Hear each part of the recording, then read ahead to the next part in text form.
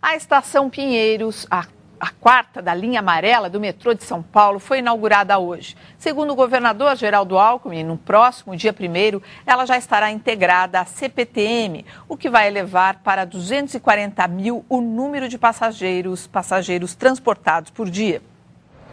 A estação Pinheiros é a quarta estação da linha amarela a entrar em funcionamento.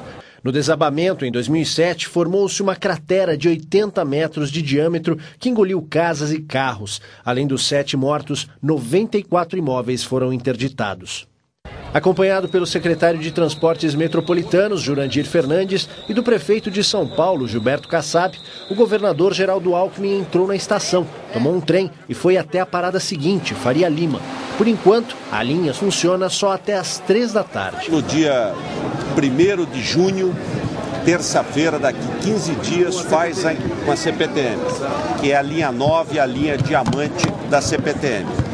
Com essa integração, essa linha passa de 50 mil passageiros para 240 mil passageiros por dia. A linha 4 amarela começou a ser construída em 2004 pelo consórcio das empresas Odebrecht, OAS, Camargo Correia, Queiroz Galvão e Andrade Gutierrez. O projeto prevê a interligação com trens urbanos e outras linhas do metrô. O custo previsto supera os 2 bilhões de reais.